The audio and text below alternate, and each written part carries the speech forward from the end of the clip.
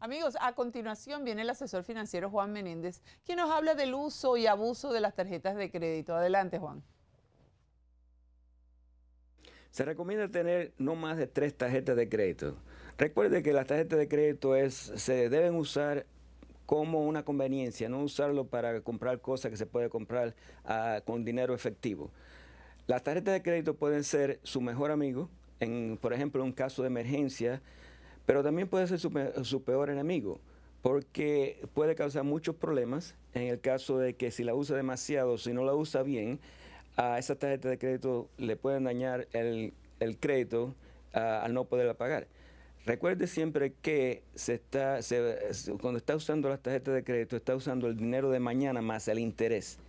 Y mañana nunca está asegurado muchas personas, especialmente los jóvenes, eh, usan las tarjetas de crédito y estoy viendo en mi trabajo que el crédito eh, se le está dañando porque no saben usarlo efectivamente. Es una desgracia porque ya al cabo de salir de la universidad, por ejemplo, son muchos estudiantes que están usando las tarjetas de crédito, ya tienen el crédito malo. Y recuerde que muchas compañías en este momento, cuando está aplicando para el crédito, le está sacando su reporte de crédito para ver cómo tiene el crédito. Y si no lo tiene en buen estado, puede que pierda su trabajo por eso. Así que sí, las tarjetas de crédito se deben usar efectivamente, no más de tres. Se pueden usar, se recomienda que la use para comprar artículos de, alta calidad o de, de alto precio, como refrigeradores, muebles, etcétera, siempre que tenga el cash ¿Por qué? Porque si tiene algún problema con eso que usted ha comprado, la mayoría de las compañías de tarjetas de crédito, ah, usted puede reclamar a través de la compañía de crédito y, no tiene que pagar mientras que ese, ah, ese problema se resuelva. Así que sí, es, un buen, es, una buena herramienta para hacer compras, pero al mismo tiempo tenga mucho cuidado, porque no, si, si puede usar el dinero efectivo para hacer las compras, úselo. Ya lo saben, es que las tarjetas de crédito son un arma de doble filo. Si usted tiene, dicen que tres son muchas, eh, una es suficiente, dos más que suficiente y tres nunca se deben de tener. Muchísimas gracias al señor Juan Menéndez. Y si tiene preguntas sobre finanzas, también nos puede escribir a nuestro email info arroba y el asesor estará dispuesto a resolver sus dudas. Bueno, nos vamos con Carlos José y la segunda parte de la entrevista de Puli Sequeira, que yo sé que muchos están esperando. Disfrútela. Adelante, Carlos.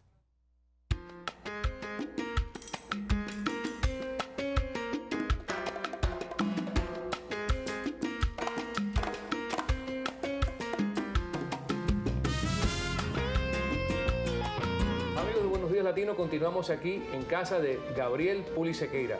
Seguimos conversando con él acerca de su trayectoria, de su camino a través de la música, de la cultura y todavía también tenemos mucho camino que recorrer porque tenemos que saber cómo es que Puli llegó a Tampa y qué fue lo que pasó después en el, resto de su carrera. Anteriormente estuvimos hablando de su participación en la televisión cubana, en Colombia y nos habíamos quedado precisamente allí.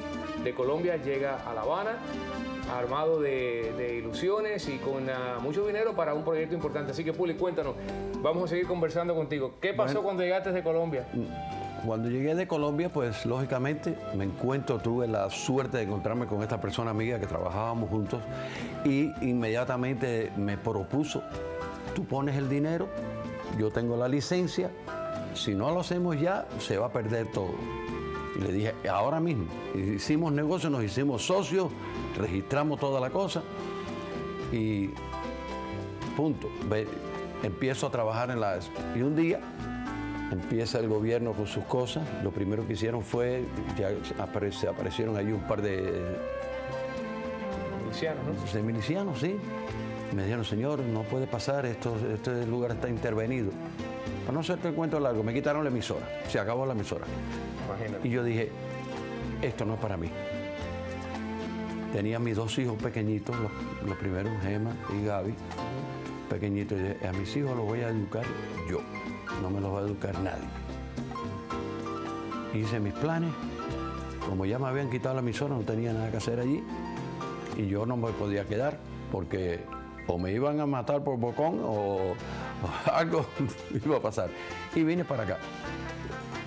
Estando yo trabajando aquí, porque tenía trabajo desde que, desde que salí de Como Cuba. técnico. Como técnico, eso, fíjate, ahí no había nada de ¿Cómo música llegó la parte de la música a tu carrera? Ah, interesante. Es súper importante. Eh, Tú verás, Sí. tú verás. Estoy trabajando en el taller y se me aparece un muchacho joven, él alto. Chico, ven acá. Tú eres hermano de Armandito Sequeira. Digo, sí, ¿por qué? Te necesito. ¿A mí? ¿Para qué? Para que toques conmigo, porque güey, me han ofrecido un trabajo. Y yo, oye, yo no soy músico. Yo no trabajo la música. Yo soy sencillamente, tú sabes, un, atrevido, un des- No, descargo. música. Mientras tanto, no, no habías nunca tocado nada, ni piano, ni nada. Bueno, eso fue de eh, oído, lo que ¿no? estudia- de oído ahí Sí. y en la, en la- en la casa y entre amigos y eso, hacíamos Exacto. descargas. Sí.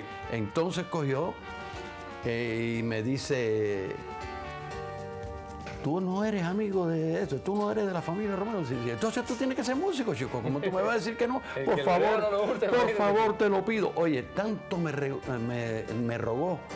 Tanto hi- hizo ese hombre, porque me decía, te lo pido por lo más que tuviera. Eh, porque yo, yo le dije, yo toco de, pero de- de- con- en la, nos reunimos unos amigos para descargar, pero no, eso, no- eso es todo. Claro. El tipo me, me compra la tumbadora y empezamos a trabajar. Como a las dos semanas, y dice, oye, acabo de se- me enterarme que viene un amigo mío que toca la tumbadora, buenísimo. Le voy a hablar. Le voy a hablar a, a. Digo, ay, qué bueno, chico, porque ya no puedo más. Mira cómo tengo las manos, no puedo. No puedo. Además, te- estoy trabajando en esto y, y- y- y los horarios no. Yo no puedo dormir cuatro horas al día, ni imposible. claro que sí. Te lo, te lo pido. Te lo pido, por favor. Eh, eh, dígole, pero ya no tienes una persona. Y dice, no, no, quiero que pases a tocar los timbales ahora. y llego- bueno, óyeme, Carlos, para no hacerte cuento largo, así fue. Y este, por favor, no te vayas, que viene alguien que cuando venga un timbalero, eso, te- te- ya te puedes ir. Pero el caso es que en Miami Y ese hombre- a muchísimos artistas y, y, y te- Sí. volviste toda una estrella ya. Eh, allá, pues empecé, empezamos en el, eh, con Pedrito Román en el, en el Teatro Flagger, que ahora eso ya no existe, ahora eso, ahora han hecho tiendas y edificios de oficinas, y eso, pero estaba ahí en el downtown, muy bueno. Estaba el Piñero, Federico Piñero, de los, de- de los, los cómicos, este, de Garrido y Piñero. de Garrido Ajá. Piñero. y todo. Era un elenco tremendo, buenísimo. Ponían una película en español y el, eh, y el ¿cómo se llama? Y un show. y un show, un show de eso de que te morías de la risa ahí con las cosas. Rosendo Rosell estaba también. Y nosotros teníamos una partecita musical que, que, que Pedro cantaba. Y, y, oye, así lo teníamos, eh, era una cosa, era, era lo mejor que había en Cuba, la sinfónica de dos, unos sinfónicos de dos personas. Bajo timbales, ¿no? ¿Eh? Bajo, y con tumbadora. con timbales, con tu- tu- tu- tumbadora, bajo y él cantando. No es nada. Sin no, aquello sonaba, era para matarnos. Si yo me pongo a pensar ahora.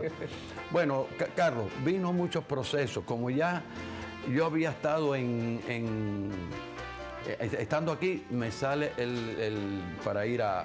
Empiezo a tocar con Panchito Calimano. Y bailes y esto y lo otro en el Toledo, el primer nightclub de Cuba. eh, era- ahí estuve yo, porque figúrate, trabajaba hasta las 4 de la mañana, mi hermano. Y a las 8 entraba en el otro trabajo. Eso era todos los Hasta días. todos los días, Carlos. Y bien amigos, nosotros vamos a tener que hacer una pequeña pausa, pero todavía falta muchísimo más que recorrer en esta eh, gran carrera y trayectoria de Puli, Gabriel Puli Sequeira en eh, la Bahía de Tampa. Así que no se nos vaya porque eso será próximamente en otro segmento aquí en Buenos Días Latinos.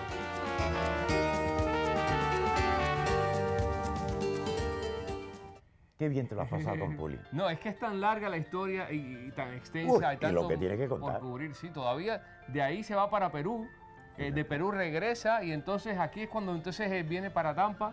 eh, viene la parte musical de Tampa, falta la parte radial de Tampa, o sea que nos falta mucho. Y la semana que viene vamos a continuar. Tenemos más. Eh, sí, Gracias tenemos a Dios. Con, con, con Puli esto el martes y el jueves en nuestros segmentos de. de- Y de qué bien te lo pasas con él porque hablar con Puli, tener una conversación con él, es delicioso.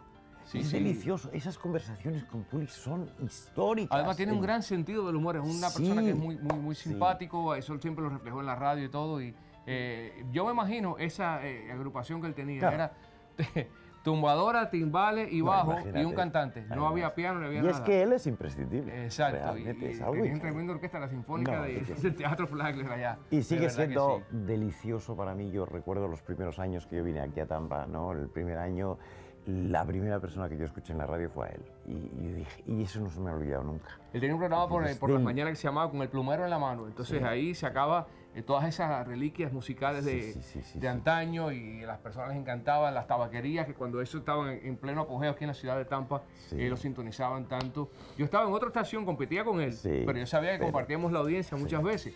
Y entonces él, eh, para las muchachitas de, de la, Nah, de la- es las que- despalilladoras de tal y tal lugar. Y ahí estaban todas las muchachitas. delicioso, Que no es eran delicioso. tantas muchachitas, pero bueno, eran ya un poquito creciditas. Pero A mí me gustaría que siguieran la radio, Puli. Puli, vuelve a bueno, radio. eh, bueno, vamos a ver, vamos, a continuar con- recordando con él su historia, pero es tiempo de irnos una pausa, Emilio. Y esto, ¿es usted una persona celosa? ¿Tú eres celoso, Emilio? Yo no.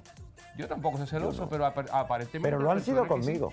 Y ese es el tema que tenemos hoy. Si los celos, eh, pues, eh, eh, es una enfermedad o es mucho amor. ¿Y sabes qué signo es el más celoso? Escorpión. Volvemos enseguida. Ya aquí, volvemos. en Mírate.